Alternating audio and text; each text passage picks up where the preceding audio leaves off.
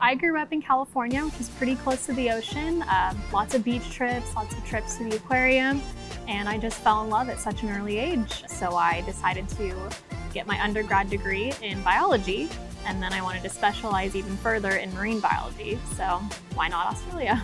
James Cook University in Townsville is very close to the Great Barrier Reef and not only attracts tourists and the residents, but people like me that want to study marine biology and the corals and the reefs and everything that inhabits them. So far, I'm in a couple classes that are focusing on conservation, management, and uh, the survival of marine species right now.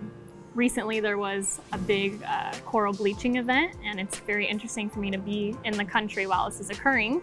Uh, so that's been a real big topic that we've been discussing. Townsville is a beautiful place to live. Everyone is so friendly, and the JCU International team has actually been very helpful in the move over here. The lecture sizes here are very small, so it's very easy to get that one-on-one -on -one with your professor with any questions or any learning objectives you have issues with.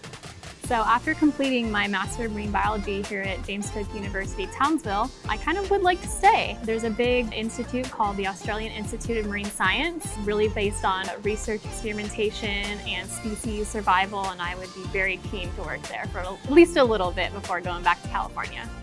Ideally, I would really love to be involved in marine mammal rehabilitation. So sea turtles, dugongs, stingrays, anything that comes up stranded on the beach, I want to be able to take care of them.